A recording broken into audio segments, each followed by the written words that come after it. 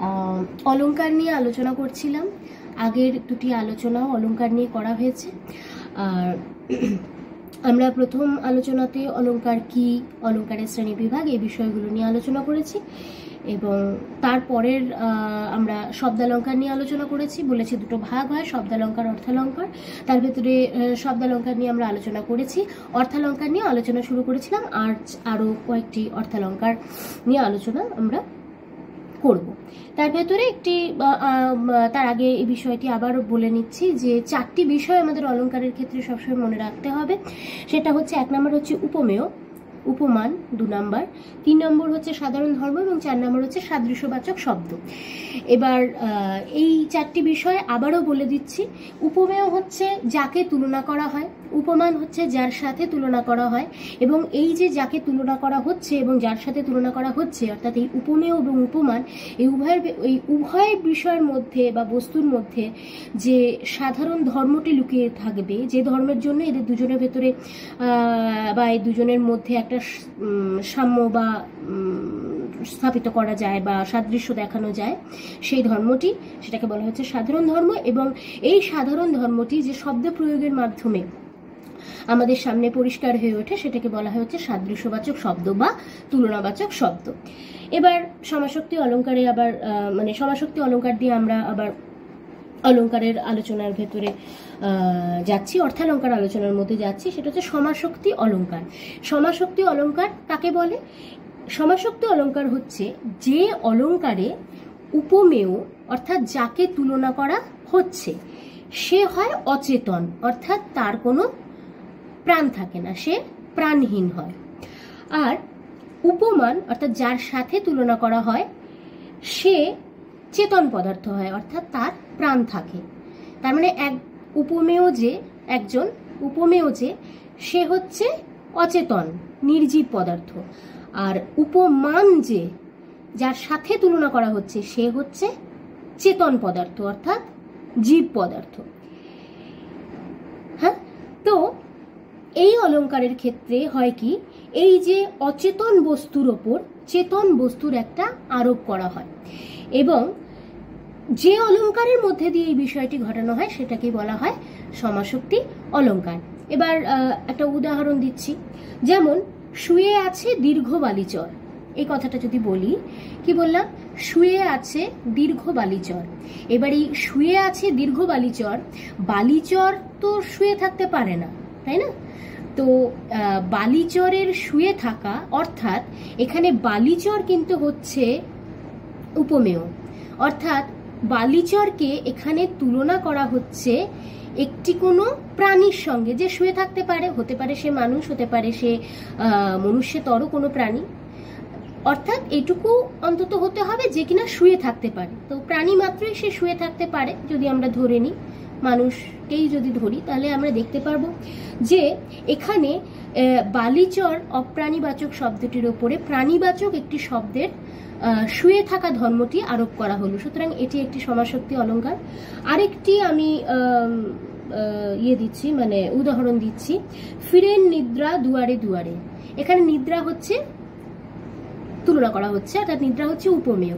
তো উপমেয় এখানে অচেতন, কারণ নিদ্রা মানুষের বা অন্যান্য প্রাণীর একটি স্বাভাবিক ধর্ম হতে পারে, কিন্তু নিদ্রা নিজে মানে নিদ্রা নিজে তো কোনো চেতন পদার্থ নয় নিদ্রার তো নিজের কোনো প্রাণ নেই, অর্থাৎ এটি অন্যান্য প্রাণীর মধ্যে যখন সংস্থাপিত হবে মানে অন্যান্য প্রাণী যখন সেটির মধ্যে দিয়ে নিজেকে সেই বিষয়টির মধ্যে দিয়ে আত্মপ্রকাশ করবে, তখন সেটি হবে স্বাভাবিক প্রাণবন্ত একটা ধর্ম।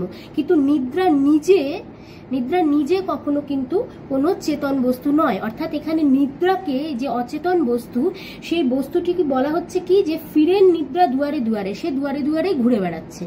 তাহলে ঘুমের পক্ষে কি করে দুয়ারে দুয়ারে ঘুরে বেড়ানো সম্ভব? অর্থাৎ এখানেও দেখা যাচ্ছে যে একটি অপ্রাণীবাচক উপমেয়ের ওপরে প্রাণীবাচক উপমানের একটা আরোপ করা হচ্ছে। তো এই হচ্ছে সমাশক্তি অলঙ্কার। তারপরের অলঙ্কার হচ্ছে অপোন্নতি। অপোন্নতি হচ্ছে উপমেয়কে গোপন করে যখন উপমানকে প্রকাশ করা হয়। উপমেয়কে প্রকাশ করে, অর্থাৎ যাকে আমরা তুলনা করছি, তাকে গোপন করছি এবং উপমানকে প্রকাশ করতে করছি, অর্থাৎ যার সাথে আমরা তুলনা করছি, তাকে আমরা প্রকাশ করছি। যেমন, বৃষ্টির ছলে গগন কাঁদিলা। বৃষ্টির ছলে গগন কাঁদিলা।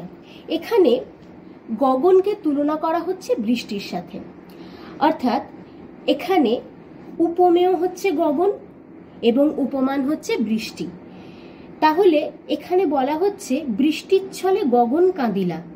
অর্থাৎ এখানে কিন্তু বৃষ্টি মানে উপমেয় যে গগন, সেই গগন কাঁদলেও আসলে সে কাঁদলো কার ছলে না বৃষ্টির ছলে? অর্থাৎ উপমানকে প্রকাশ করা হলো।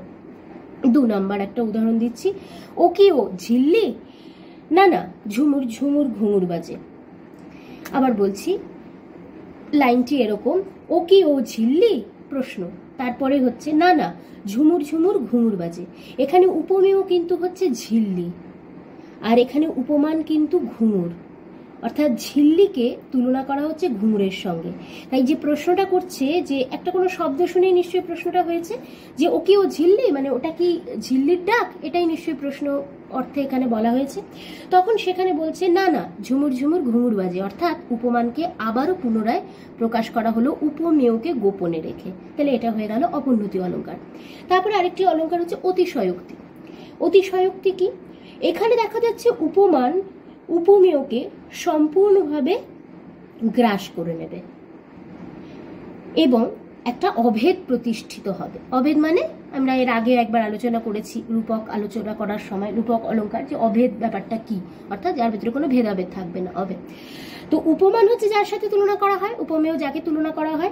তাহলে এখানে বলছে যে যার সাথে তুলনা করা হচ্ছে, সে সম্পূর্ণভাবে যাকে তুলনা করা হচ্ছে তাকে গ্রাস করবে। মানে ভেদ একটা স্থাপিত হবে উভয়ের মধ্যে। যেমন লেখা আছে, বসে খে দুপুরে, দূরে বালুচরে কাঁপিছে ঝিঝির পাখা পাখা। আবার বলছি বসিখি দুপুরে, দূরে বালুচরে কাঁপিছে ঝিঝির পাখা। এখানে বসিখি দুপুরে, আসলে দূরে বালুচরে কি কাঁপে? রোদ কাঁপে? রোদের যে আভা যে রোদ্দুরটা পড়ে সেটা কাঁপে। কিন্তু এখানে এমন করেই বিষয়টি স্থাপিত করা হয়েছে, যেখানে পরিষ্কার বলা হচ্ছে যে বসে কি দুপুরে দূরে বালুচরে কাঁপিছে ঝিঝির পাখা। অর্থাৎ এখানে ঝিঝির পাখাটা কিন্তু হচ্ছে উপমান। অর্থাৎ রোদের যে আলোটি বা রোদ বা সূর্য মানে রোদের যে আভাটা ওখানে পড়ছে বালুচরে, সেটিকে তুলনা করা হচ্ছে ঝিঝির পাখার সঙ্গে। কিন্তু এখানে কিন্তু রোদ বিষয়টির উল্লেখ পর্যন্ত নেই। সেই জন্য কি বলছে? যে উপমান সম্পূর্ণভাবে উপমেয়কে কিন্তু গ্রাস করে নেবে। সেই জন্য দেখা যাচ্ছে যে এখানে কিন্তু রোদ যে বিষয়টি, যেটা আমরা ভাব দিয়ে বুঝতে পারছি, কিন্তু বিষয়টি হচ্ছে উচ্চ হয়ে যাচ্ছে। অর্থাৎ বলাই হচ্ছে না। আর তার জন্য আমরা যেটা আমরা সংজ্ঞাতে বললাম যে এখানে উপমান, উপমেয়কে সম্পূর্ণভাবে গ্রাস করে নেয়। তো এটা হচ্ছে অতিশয়োক্তি অলঙ্কার। তাহলে আমরা মোটামুটি অলঙ্কারের আলোচনা করলাম, অলঙ্কারের শ্রেণীবিভাগ অলঙ্কার কাকে বলে? অলঙ্কারের শ্রেণীবিভাগ এবং দুভাগে ভাগ করা যায় শব্দালঙ্কার, অর্থালঙ্কার এবং তারপরে সেগুলোর ভাগগুলো সম্বন্ধে মোটামুটি করে আমরা একটা আলোচনা সারলাম। আর আপাতত অলঙ্কারের আলোচনা এখানেই থাকবে। আমাদের সাধারণত অলঙ্কার থেকে যে প্রশ্নগুলো আসতে পারে সেটা হচ্ছে অলঙ্কার কাকে বলে, অলঙ্কার কয় প্রকার, কি কি?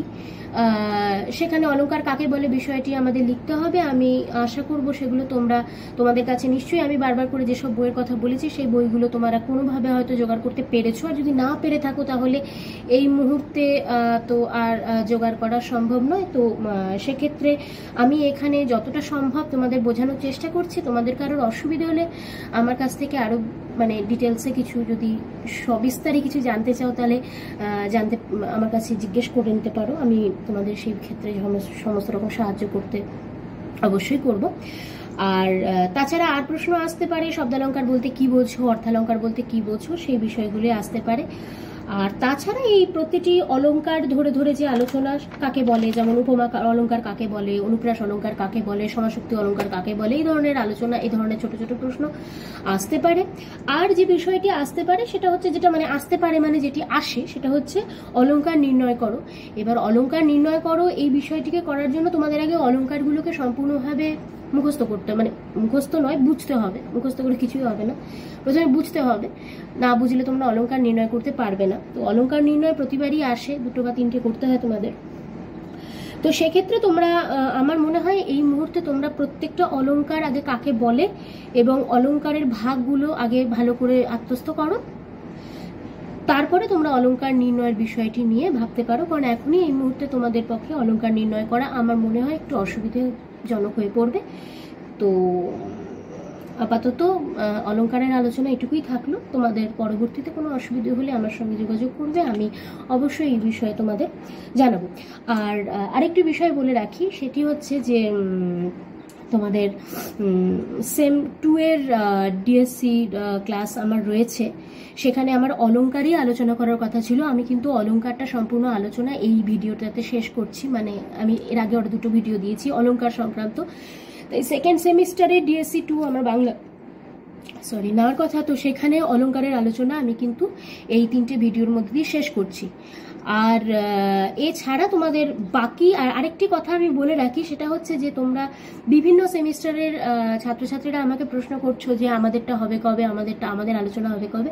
আমার যা যা কিছু সিলেবাসের অন্তর্গত, আমি নিশ্চয়ই মানে তোমাদের তো একটা সিলেবাস রয়েছে, সেখানে প্রত্যেক স্যার ম্যাডামরা দের জন্য তো কিছু নির্দিষ্ট বিষয় থাকে যে এইটি ইনি পড়াবেন, ওটি উনি পড়াবেন। তো সেক্ষেত্রে আমার যা যা পড়ার যে- বিষয়বস্তু, আমি সব কিছু নিয়েই আলোচনা করব। কিন্তু একটু সময় লাগবে প্রত্যেক দিন তো এভাবে সমস্ত সেমিস্টার নিয়ে আলোচনা করা সম্ভব নয়। আপাতত আমি second semester program Bengali program যাদের, তাদের অলংকার আমার যেটুকু সিলেবাসে পড়ানোর কথা, আমি কিন্তু এই এই তিনটি ভিডিওর মধ্যে দিয়ে সেটি পড়িয়ে দিয়েছি। এর পরবর্তীতে আমি অন্যান্য সেমিস্টারের প্রোগ্রাম যা আছে আমার পড়ানোর কথা পড়াবো এবং তার সাথে সাথে সেমিস্টার টু এর অনার্স সেমিস্টার ফোর এর অনার্স এবং সেমিস্টার সিক্স এরও অনার্সের বেশ কিছু বিষয় আমি এর পরবর্তী ভিডিওগুলোতে আপলোড করব।